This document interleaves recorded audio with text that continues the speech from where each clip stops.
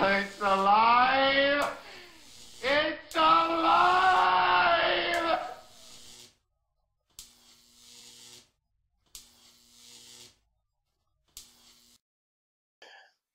Hello, I'm Artifacts of Mars.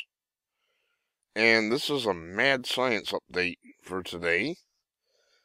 Wild extinct super cow known as the auroch is returning to Europe. Well, they're uh, doing this by taking domestic cattle that have the has on the genes for these humongous cattle, and they're backbreeding them to get a higher and higher concentration of auroch genes, and then you come up with an auroch, aurochs, uh, at least something like it. The idea was these wild cattle would basically graze throughout Europe, and they help maintain the landscape and all that.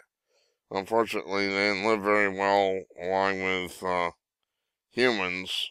They got put out of, they got made extinct. Now, here's the article. Our ancestors learned to respect the auroch and immortalize them in prehistoric cave paintings. The earliest cows were mighty beasts that stood almost as tall as elephants with lean, powerful frames and fearsome horns that would make hunter think twice.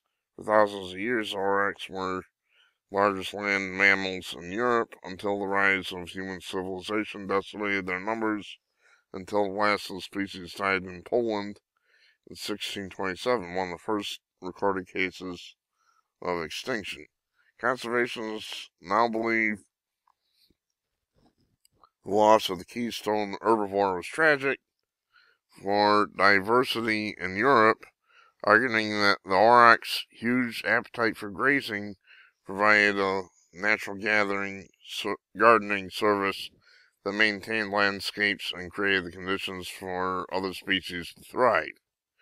Theory is now being put to the test as a near 100% substitute of the beast is returned to the forest. Ecolog- ecologist Ronald Goderie launched a Tauros program in 2008 seeking to address failing ecosystems. The most powerful herbivore in European history seemed to offer a solution. We thought we needed a grazer that is fully self-sufficient in case of big predators and can do the job of grazing wild, big wild areas, said Goderie. We reasoned that this animal would have to resemble an auroch. Rather than attempt the type of gene editing or high-tech de-extinction approaches being employed for species from woolly mammoths to passenger pigeons, Goderie chose a uh, method known as backbreeding to create a substitute bovine he named Tauros. Auroch genes remain present in various breeds of cattle around the continent, and team identified descendants in Spain, Portugal, Italy, and the Balkans. Geneticists advise breeding certain species together to produce offspring closer to the qualities of the auroch, and then breed the offspring. The animals get closer with each generation, and team has the advantage of being able to test the offspring's DNA against complete genome of the auroch, which was successfully sequenced at University College Dublin. You can see the first from the first generation that apart from the horn size, there's enough wild in the breed to produce animals far closer to the auroch than we could have would have expected, so go. The ecologists had predicted that seven generations would be necessary for the desired outcome, which might be achieved by 2025. The program is now in its fourth generation, and pilot schemes across Europe are offering encouragement. Okay. Tauros program connected with Rewilding Europe early on, a group that supports the restoration of natural processes through projects that range from rebuilding rivers to int introducing apex predators. Rewilding Europe was able to provide protected land across the continent. Croatia, Spain, Portugal, Czech Republic, Romania, where Goderie's crossbreeds contest themselves in the wild. In many cases, they rose to the challenge. We see progress not only in looks but in behavior, but also in the de-domestication of the animals. He said, "This is a challenging process, they might have to accept the presence of large packs of wolves." Herb, herds of herbivores are habitually decimated by local wolves at the Croatian site, Sigodiri. By contrast, the Tauros learned to defend themselves and suffered few losses.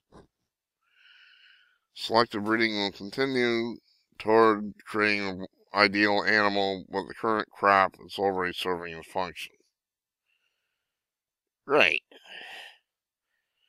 Now, let's say they do create this animal in such a huge size. You know, Middle Ages Europe is one thing. Today's a totally different situation in Europe, and I'm thinking this is going to screw things up even more in Europe. I don't know, but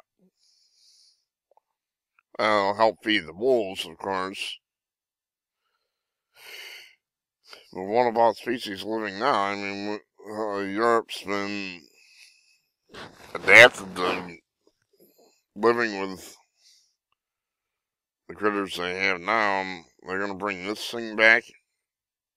Well, they already have, and they're going to continue breeding them until they have these gigantic beasts with a nasty temper. This is a modern world. It's not 1600s for crying out loud. Feel real sorry the auroch went out of, went extinct, but that's where it happens with species. They get taken off plants, so new ones keep, keep getting put on the planet. Ah! What did artifacts just say? Anyway, that's your mad science update for today. Unbelievable. They're opening themselves up to trouble. Of course, with their open borders, it doesn't really matter, so. The artifacts of Mars.